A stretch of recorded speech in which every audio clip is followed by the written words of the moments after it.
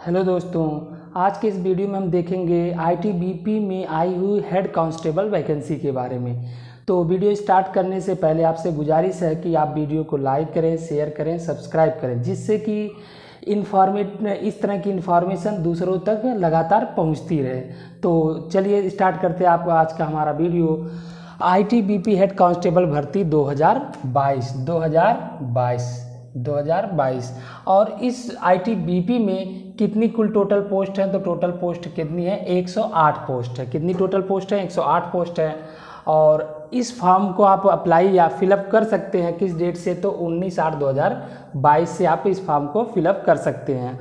और इस फॉर्म की अंतिम तिथि जो है लास्ट डेट जो है, कितनी है? वो तो 17 नौ 2022 है। 17 नौ 2022 है।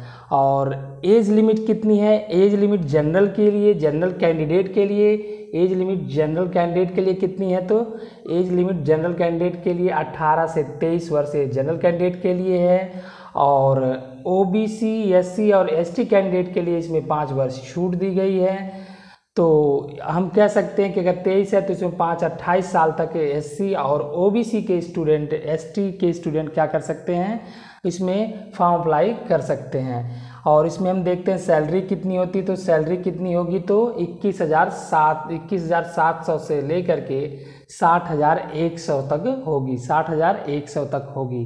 साठ हज़ार एक सौ तक इसकी क्या होगी? सैलरी होगी। तो ये रहा पोस्ट के बारे में। अब देखते हैं इसका सिलेक्शन प्रोसेस क्या है? चयन प्रक्रिया। सिलेक्शन प्रोसेस क्या है? चयन प्रक्रिया कैसी हो, कैसी है इसमें? तो देखते हैं इसमें तीन तरह का टेस्ट होता है। फ़िज़िकल टेस्ट होगा, उसके बाद आपका रिटर्न टेस्ट होगा रिटर्न के बाद आपका क्या होगा मेडिकल टेस्ट होगा। तो तीन तरह के टेस्ट से आपको गुजरना होगा, इसमें आपको एक सीट रिज़र्व करने के लिए। फिर देखते हैं कि इस फ़िज़िकल टेस्ट में क्या क्या होता है। फ़िज़िकल टेस्ट में आपकी होती है हाइट हम कह सकते हैं ऊंचाई होती है दौड़ होती है और क्या होता है? लॉन्ग जंप होता है और हाई जंप होते हैं। ये क्या है? फ़िज़िकल टेस्ट में होता है। जब आप फ़िज़िकल टेस्ट दे लेते हैं या फिर फ़िज़िकल टेस्ट के बाद क्या आता है तो written test written test means लिखित परीक्षा। रिटर्न टेस्ट का मतलब क्या? लिखित परीक्षा। लिखित लिखित परीक्षा। लिखित परीक्षा कैसी होगी? तो ओ एम आर बेस्ड पर होगी। O M R O M R जो बबल्स होते हैं, उसको उस गोले को फिल करने के लिए या भरने के लिए ये भर, भरा जाता है ओ एम आर पर।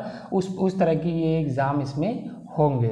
और जो मेडिकल टेस्ट है मेडिकल टेस्ट तीसरा, तीसरे पे है तो मेडिकल टेस्ट आपका होगा ही, जैसे जनरल अदर वैकेंसीज में होता है, जिसमें हम कह सकते हैं, जिसमें मेडिकल होता है तो उस तरह के मेडिकल की प्रक्रिया इसमें भी होगी। अब देखते हैं हमारा जो रिटर्न है, जो हम लोग फ़िज़िकल टेस्ट पास कर लेंगे तो रिटर्न टेस्ट है तो रिटर्न ही मोस्ट इंपॉर्टेंट है, क्योंकि आप इसमें अगर मार्क्स गेन करते हैं, इसको ज़्यादा ज़्यादा मार्क्स गेन करेंगे तो आपके जो सिलेक्शन के प्रोसेस है चांसेस हैं, वो क्या हैं? वो ज़्यादा बढ़ जाएँगे। तो इसमें हम देखें, देखते हैं रिटर्न टेस्ट में सौ क्वेश्चन है। सौ क्वेश्चन है, कितने नंबर का? सौ नंबर का होगा। सौ क्वेश्चन सौ नंबर का होगा। ओ एम आर बेस्ड है तो हमने आपको अभी बताया ओ एम आर पर होगा।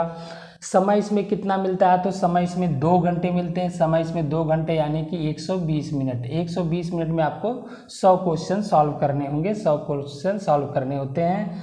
और इस सिलेबस में क्या क्या पूछा जाता है? किस विषय से कितना क्वेश्चन रहता है? इसको हम देखते हैं। आपका क्या है? इंग्लिश है। इंग्लिश से 20 क्वेश्चन होगा। इंग्लिश से कितना क्वेश्चन होगा? 20 क्वेश्चन होगा। जनरल हिंदी से 20 क्वेश्चन होगा। और जीके जीके और जीएस से कितना होगा? तो 20 क्वेश्चन होगा। मैथ से जो होगा, क्या कितना होगा? तो मैथ से 20 क्वेश्चन होगा। और रीजनिंग से कितना क्वेश्चन होगा? तो 20 क्वेश्चन होगा। 20 क्वेश्चन होगा। तो इस प्रकार हम कह सकते हैं टोटल जो सब्जेक्ट हैं, पाँच हैं। और इसमें टोटल क्वेश्चन कितने आएँगे? तो सौ क्वेश्चन होंगे और सौ नंबर का होगा।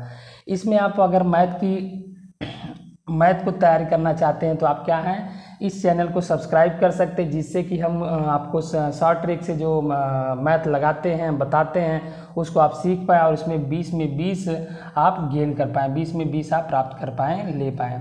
तो इसलिए हम कह सकते हैं कि ये जो वैकेंसीज है या फिर ये कह लें कि ये जो आपका सिलेबस है, इसमें से आप मैथ इसी चैनल पर प्राप्त कर सकते हैं, चैनल को सब्सक्राइब करके।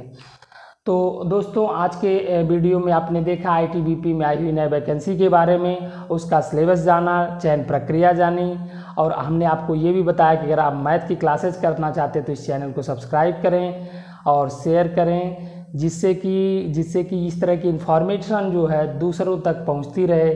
और इस तरह की वीडियो के लिए फिर से कह रहे हैं कि सब्सक्राइब करें शेयर करें। Thank you thanks to watch the video thank you